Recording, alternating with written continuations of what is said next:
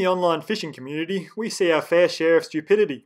Someone has a few beers, sees a picture of a guy with a donkey sized fish, and gets a little jealous and has a keyboard warrior meltdown about the claimed size of the fish, or spews forth all of his self imposed, unquestionable rules of fish handling that every fisherman should abide by. I mean, seriously, if you're screaming at people in the comments section when they leave a lure in a fish's mouth for a photo, it might be time to put the bottle down. You know, we're living in a society. We're supposed to act in a civilized way. And with all the cries of, that's photoshopped! Seriously, how many smelly old pike fishermen do you think actually know how to use Photoshop? An even longer running and more serious example of the fishing community tearing itself to shreds has been taking place on the western locks of Ireland in the form of Inland Fisheries Ireland's pike management policy on designated wild brown trout fisheries, where, on certain locks, wild brown trout have been awarded special protection. What could possibly be wrong with that, you say? Well, it's not special protection from humans like we'd normally see in the form of marine sanctuaries and the like, but special protection from Esox lucius, otherwise known as northern pike. These brown trout have been awarded special protection from a species they have successfully coexisted with for at least the last 8,000 years, according to the latest scientific DNA analysis. So, how is it that Inland Fisheries Ireland are protecting brown trout from pike? Well, when it comes to the food web, how do you stop a lion eating an antelope, a great white shark from eating a seal, or a human from eating a trout? Uh, sorry, uh, not human, I meant to say pike. How do you stop a pike from eating a trout? Well, you shoot the lion, you catch the shark, and you gill net and electrofish the pike. Standard operating procedures for gill netting of pike in this instance used to be listed on this page of the Inland Fisheries Ireland website, although it seems that the links no longer exist. Luckily for me, I printed out a copy of this quite some time ago, and it goes to exhaustive detail about how pike are to be netted, measured, and dealt with according to size with fish over 85 centimetres returned to the water immediately, and fish under 85 centimetres either smacked over the head with a lump of wood or transported to another lock for release, where apparently the trout are tougher and aren't scared of the big bad pike. You may be aware of the shocking footage on YouTube of this netting being carried out, where Inland Fisheries Ireland staff break every rule in their outlined procedure and destroy, either intentionally or not, some huge pike in the meantime. Uh, just one question. Any fish over 85 centimetres, are they returned back to the water again?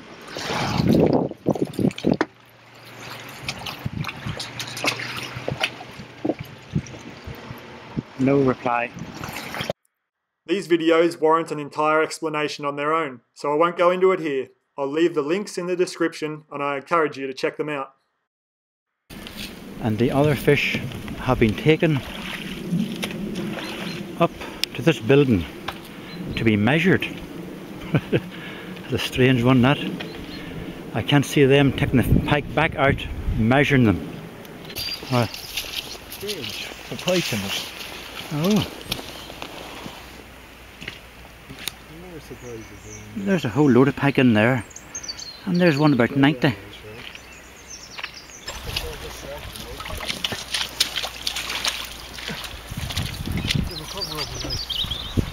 No, he'll not. Put him, put him in again, just. Put him in. He'll be alright. Put him in, just. I'll take him in.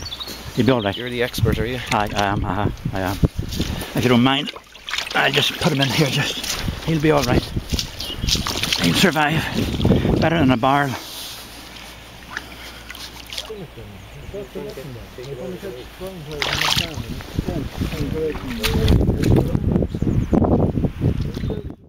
If you're a pike fisherman who hangs out on the dot coms to check out the pike porn, you have no doubt come across the ongoing mudslinging match and sometimes guerrilla warfare tactics to spread propaganda from either the pro trout or pro pike side. And I'll be honest, occasionally I've thrown my hat into the ring when it comes to letting off a bit of steam in the comments section on this very subject. Unfortunately, it's like waiting for the next tweet from President Trump as to what comes next from the pro trout, or should I say, anti pike side of the argument. Why is it that I compare the anti Pike side of the debate to Donald Trump? Well, it's because both are inherently anti science. You can't use hairspray. because hairspray is going to affect the ozone. I'm trying to figure out. Let's see, I'm in my room in New York City and I want to put a little spray so that I can. Right? But I hear where they don't want me to use hairspray, they want me to use the pump. Because the other one, which I really like better than going bing, bing, bing, I want to use hairspray. They say don't use hairspray, it's bad for the ozone. So I'm sitting in this concealed apartment, this concealed unit. You know, I really do live in a very nice apartment, right? But it's sealed. It's beautiful. I don't think anything gets out. And I'm not supposed to be using hairspray. All of this with the global warming and the, that, a lot of it's a hoax. It's a hoax. I mean, it's a money making industry, okay? It's a hoax. A lot of it. If you don't want to take science seriously, then have a good time giving up all the first world technology that makes our lives so comfortable. Science makes models and testable predictions about reality. You know, the place where most of us live. Science is blind and doesn't care if you grew up fishing for trout or pike. It doesn't care if some old geezer down the pub told you that pike are better off as cat food, and it doesn't care if you like smoking a tasty piece of trout for dinner, and doesn't care about your feelings. It is constantly updated with every piece of information that we learn. So today I'm going to be looking at some of the claims that have been spread all over the media recently by this article, and this article, and this article, this article, this article, this article, this article, this article, and this one, that are covering the latest incarnation of the anti-pike brigade in the form of Pike are Predators campaign, they all tout the same uh, facts and figures, so I'll use this one from the Irish Sun, as it's the most entertaining. Not known for its scientific content, I'm sure, but if you're going to be reporting on something that affects a huge number of fishermen from Ireland and abroad, you may want to delve into a little bit of fact checking of your own before heading to the printers. So, why don't we check it out point by point and see what we can find with a bit of research of our own? Trout battered. Well, just for a start, if you're battering trout before you deep fry it and eat it, um, you've got some questions to answer to. Sex mad cannibal pike are killing off one of Ireland's most loved fish, and campaigners are fearing for wild brown trout stocks. Well, why don't we look at the uh, first claim they've got here cannibal pike. It's a well known fact that pike are cannibalistic, and a quick search on the internet will turn up plenty of awesome pictures of pike tearing each other to shreds. But surely that's a good thing. If pike are eating each other, that means it's one less trout getting devoured by the evil predator pike. So, how about sex mad? Anyone fishing in England or Wales will be familiar with the coarse fishing close season. This runs from the 15th of March until the 15th of June and is designed to limit the impact on coarse fish including pike, during the breeding season. Pike spawn around springtime and it's very dependent on local water temperature being around 9 degrees. And even if spawning is successful, their eggs won't hatch if the water temperature drops below 6 degrees. Fertilization and survival to the hatchling stage is low, and the free swimming larvae only have an approximate 5% chance of survival. That is, of course, without taking into account large flooding events, pollution, agricultural runoff, predation by native and introduced species, the list goes on. So, are pikes sex mad? Well, with very specific spawning parameters that only occur once a year, I'd have to consider myself a bit more sex mad than they are. So, we're told that pike are killing off one of Ireland's most loved fish, the brown trout. Well, if I had to guess what Ireland's most loved fish were, uh, as a stab in the dark, I'd say first place pike, then salmon, and coming in third would probably be brown trout. But it doesn't matter what I think on the subject, because I'm just a human with my own preferences and biases. That's why we turn to the real data instead of bing, bing, bing. The socio-economic study of recreational angling in Ireland was produced by Tourist Development International by appointment from Inland Fisheries Ireland and offers an amazing snapshot of recreational anglers in Ireland and those who travel from abroad to fish there, where they spend their money, what species they target, demographics, etc. So, we can find out how loved the brown trout actually are. Let's have a look at participation rates among domestic anglers on day trips. Top spot is taken out by sea fishing, with brown trout fishermen in second place, followed up in third by pike fishing. As for overnight fishing trips taken by Irish fishermen, sea fishing again proving very popular, with coarse fishing in second place. Third place is the combined category of salmon and sea trout, and in fourth place sits the predator pike, beating brown trout fishermen in fifth. Okay, so there's only an extra 1,000 estimated anglers doing overnighters for pike than brown trout. But when we compare the spending habits from pike fishermen to trout fishermen, they far outweigh them and it becomes a bit more of a significant figure. Especially when you've got them visiting your village, drinking beer in your pub, staying in your hotels, and buying your groceries. A lot of it's a hoax. It's a hoax. I mean, it's a money making industry, okay? It's a hoax. A lot of it. And since I mention it, it seems that the people getting all fizzed up in their quest to destroy Pike have now decided that they don't say the word Pike on its own. It's now known as Predator Pike! Ah, Jesus. If I could only imagine them all sitting around actually planning that this is the terminology they're now going to use. Well, actually, I can imagine one of these meetings, and quite accurately. If we follow the numbers once again, we can get a bit of an idea of the anti-Pike Brigade demographic. If we head down to the fishing category by age in the same report, it shows that game angling is most popular with an older age group, with brown trout fishing ranked second highest in the over 55 bracket. So, Let's have a look at the spearheads of the Pike are Predators campaign and see if they match up with the 55 and over age bracket. yeah, that looks about right to me. This is no secret to the fly fishing community, which struggles with the old rich guy in a tweed jacket stereotype and poor recruitment of youngsters into the discipline, as shown on the chart. On the other hand, pike fishing ranks number two with the youngest age group who are driving the lure fishing for predators craze, and God forbid, the catch and release of predator pike. So, what do we got next? Vicious pike eat nearly 20 kilos of trout a year? Bloody hell, that seems like a lot. Let's crunch those numbers later. They have previously attacked humans too, with shocking footage showing them biting unsuspecting punters. Oh my god, where are these videos? Okay, here's the links they've provided for us. Let's take a look at the human attacks. Alright, this guy's waving a uh, fish in front of it, and it grabs a fish. And, oh, that pike, see that? It's diving for the human. Oh, no, no, it's got a bigger pike behind him. Ah, sweet. Okay, this is a pike attacking a duck. Okay, that's also not an attack on a human. Classic. He's a stupid cat, and uh, boom! Okay, that's not an attack on a human. This guy seems to have a piece of wood and throws it into the water. And boom! Okay, that's not an attack on a human either. This guy seems to be reviving some sort of fish, and boom! Pike attack. Well, luckily, no attacks on humans. Okay, all the articles seem to be spruiking that more than 200 anglers from all over Connacht last night launched the Pike Predators campaign in Galway. Okay, let's check out the meeting, see if there was 200 concerned anglers present. So here we have the launch of the Pike Predators campaign, and I've grouped these guys up in different colours, groups of 10, and going by my count, there's 90 people in this room. So either 110 of them were in the toilet while this photo was taken, or the group is prone to a little bit of exaggeration, more than double in this instance. Okay, what's next?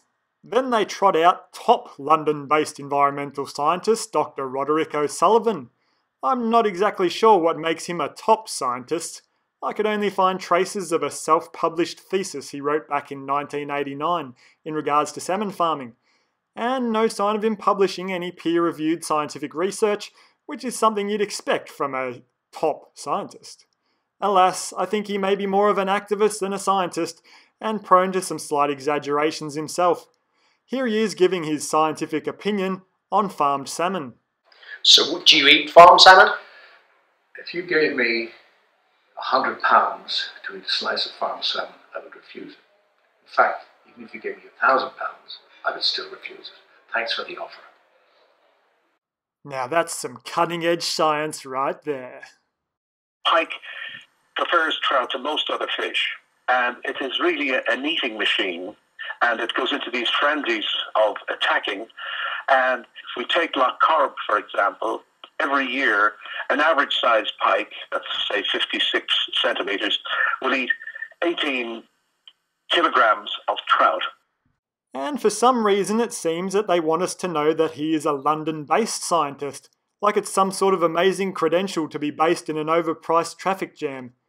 And if the Pike Are Predators campaign are so proud that their top scientist hails from London, then why do they cry wolf when anyone else from mainland UK weighs in on their Irish debate?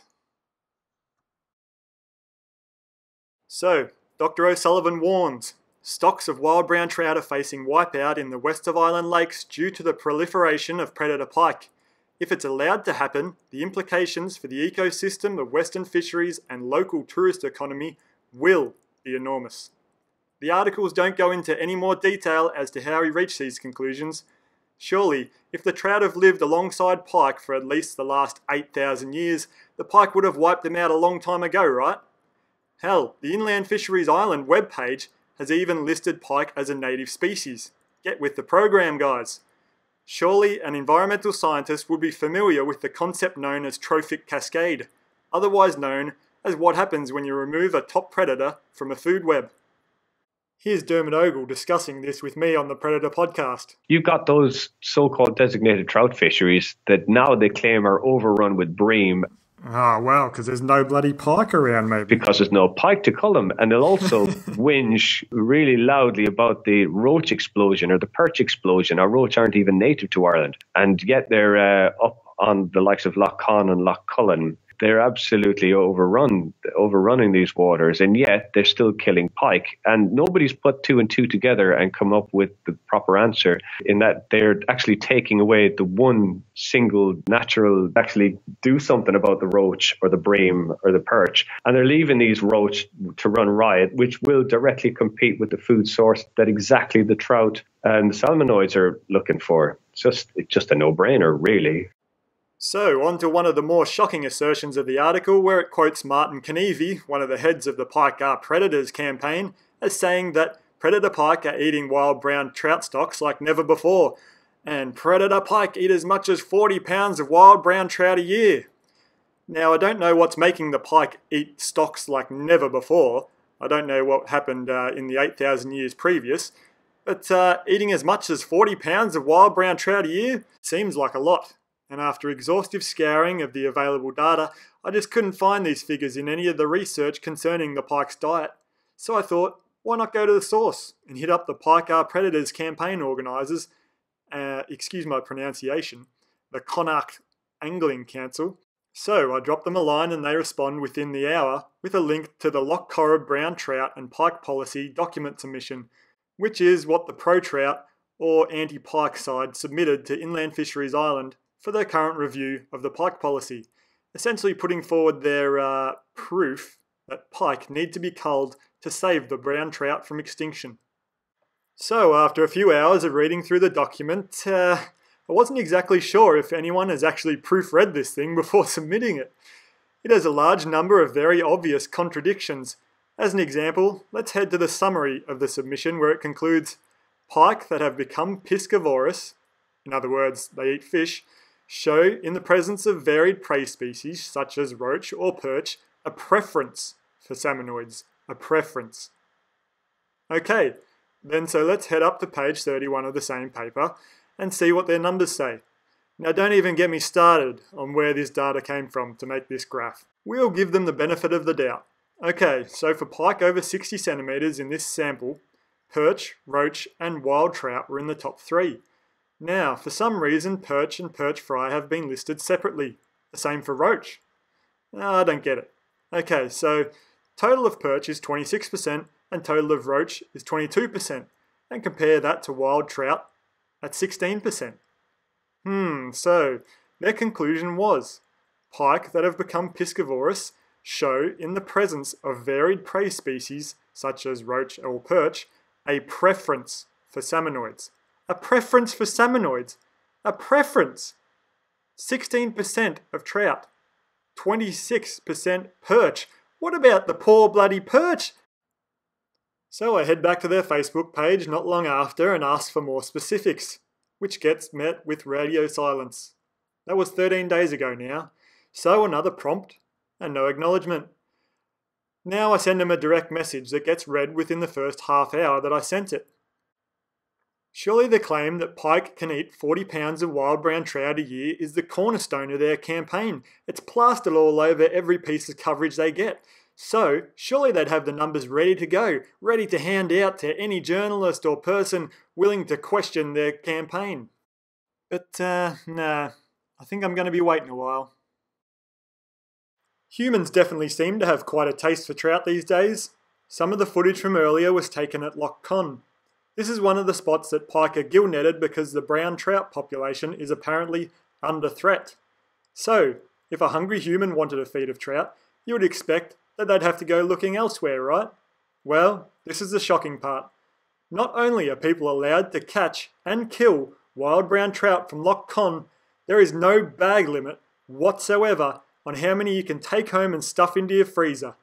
If you head there for a week and go fishing, catch 50 of these supposedly under threat, near extinct trout, you can fillet them right there on the spot and feed them to your bloody mongrel dog, no questions asked.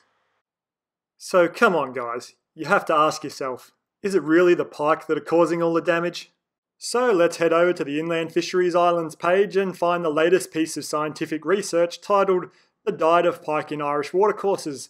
And this is the layman's edition as well, so even fishermen can understand it. It's the latest and most comprehensive piece of research in the field having been conducted in 2014. Using CSI like technology of stable isotope analysis and stomach content analysis to provide the most accurate, and some would argue only scientifically based study into the diet of pike due to one of the most powerful aspects of scientific rigour that's been imposed upon it the peer review process. Scholarly peer review is the process of subjecting a scholarly work, research, or ideas to the scrutiny of others who are experts in the same field before the paper is published in a scientific journal. In other words, a bunch of scientists who weren't involved in the study have looked through it and they say it's legit. If, if, you, if you base medicine on, on science, you cure people. If you base the design of planes on science, they fly. Um, if you base the design of rockets on science, they reach the moon. It works, bitches.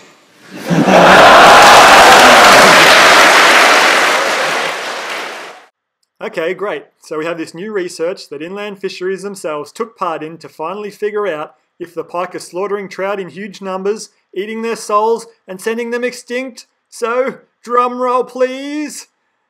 Ah, okay, that's pretty boring. I'm looking, and I have to say, I'm not seeing it. It's a very interesting read, and it can definitely give you a pike fishing lesson if you take notice. As it would seem, pike eat the resource that is most readily available to them. So, if a lake has mostly roach, they mostly eat roach, and if a river has mostly perch, they mostly eat perch. You get the idea. So, the upper part of the chart shows what prey species were most numerous in a few of the sites studied, and the bottom pies show what was found in the pike's stomach at those same locations. Do you notice the tiny little orange slice in the left hand column? Yeah, that's trout. Pike eat what's in front of them, so the old adage of match the hatch rings true. They're not going to preferentially hunt down and devour salmonoid species. In this study, overall roach and Asellus were the most important food sources found in the pike's stomachs, and according to the internet, Asellus is some kind of freshwater crustacean, commonly known as waterlouse, so pike are spending most of their time munching on little bugs? Well, surprisingly, invertebrates accounted for 45.5% of all stomach contents. Maybe pike fishers should put away the jerk baits, break out the long wand, and tie up a few waterlouse flies. So, digging through pike guts wielded some interesting results. Interesting yet flawed. The researchers point out that by using their stomach content analysis technique, you have to be aware of a bias due to the weight of some food items found in the pike's stomachs. Trout were encountered at five sites and in nine stomachs and were only deemed important in Loch Sheelin, and this is where the flaw in the sampling method comes to the fore. The trout only had an occurrence rate in the stomachs of 7%, but their weight contribution to the diet was 48%. This was due to two large, undigested trout found in the stomachs, highlighting the bias when using stomach content analysis by itself. So, two large, half eaten trout can really skew the data, when most of the pike have been chowing down on bugs like Bear Grylls. But hang on a second. If these modern stomach content analysis techniques have identifiable flaws, then what did they do back in the good old days? Herein lies the problem. If the stomach content studies that IFI use and the Pike are Predators campaign use in regards to the Pike Management Program, they have never been internationally peer reviewed. They were produced in house by IFI and are more akin to opinion pieces based on the author's own experiences and biases. Hell, one of these old fish surveys even goes so far as asserting that pike don't feed pelagically. Seriously, I've fished in Ireland, trolling for pelagically feeding pike in 20 metres of water, and had a hell of a time. But according to the science of the pike management fantasy land, this is impossible. Write down his.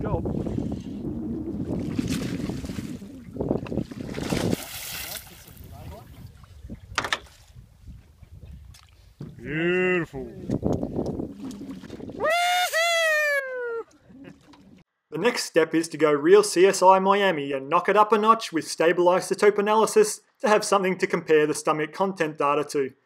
Heard the saying, you are what you eat? Well, that's exactly it. Take a sample of pike flesh and see what it's been built out of. Elements such as carbon and nitrogen analysed in this study vary in mass due to the differences in their structure. If a pike eats a lot of perch, he will be made out of more isotopes with a mass matching that of perch, and so on. And, as boring as it may sound, not a lot in this study stood out. As delicious as trout are, the pike don't seem to agree. So the trout fishermen should be jumping for joy, right? It doesn't matter if pike were found with either invertebrates or fish in their stomach. They were built out of the same building blocks, representing the opportunistic behaviour of pike. Swim past him and you mince meat. They ain't gonna hunt down and devour trout preferentially. So, with no help from the Pike Are Predators campaign, no matter how many of these friggin' papers I look through, old and new, good and bad, I just couldn't find that 20 kilos of trout number fitting in anywhere. Into any feeding ratios, graphs, tables, pie charts, nothing. It's literally a swamp of opinions, anecdotes, and exaggerated conclusions to wade through if you want any sense of what the inland fisheries pike management policy is based upon. The people in the trenches at the Irish Pike Society have torn these old stomach content papers to shreds. Head to their website and check it out. You might want a strong drink for this one. It would make any passionate fisherman's blood boil. One by one, piece by piece, they break down these outright strange delusions and ask for the truth. These guys are leading the charge and trying to protect these precious locks, not just for pike fishermen, but for all those who care to visit these great wilderness areas. And at least they came to my aid when I was looking for this magical pike that eats on average 20 kilograms of trout every year. So, if we use the Connacht Angling Council's figure of a pike eating 20 kilos of trout per year, and using the study that they gave me, that shows that trout make up 16% of a pike's yearly intake in a fishery that has other fish like roach and perch present. Therefore, 16% of the diet is 20 kilos. Then this pike would eat 125 kilograms annually. From there, we have to employ a food conversion ratio to get the weight of a pike that can eat 125 kilos of fish per year. Because if a pike eats 1 kilogram of fish, it doesn't put on 1 kilogram of mass. The conversion ratio in the past has been calculated at 4.7, so we take our 125 kilos of food eaten, divide that by 4.7, and end up with a pike weighing 26.6 kilos, or 58.64 pounds Holy crap! So, if the Connacht Angling Club are stating that their average pike is eating 20 kilos of trout per year, that means the average pike in their lake is 58.64 pounds. Where is this lock and how do I get a day ticket? Unfortunately, these claims and the Inland Fishery Ireland's current pike management policy is based on a whole swath of outdated, flawed, non peer reviewed data, and anecdotal evidence. There is an old saying in science that the plural of anecdotes is not data. The Inland Fisheries Ireland website these days lists pike as a native species. Thank God. So, I'll head there to let them have the last word, and hopefully they heed their own advice. But I'm not heading to the Inland Fisheries Ireland page you see today. Let's use some tricky internet hacking skills to visit their site back on July 27th, 2010, back when they thought pike were an invasive species. Scientific evidence indicates that naturally occurring fish species within any geographic area have evolved over long periods of time and have adapted themselves to thrive in the natural aquatic conditions pertaining to that area. It therefore makes sense, from a fisheries perspective, to endeavour to restore waterways to as near as practical a natural state.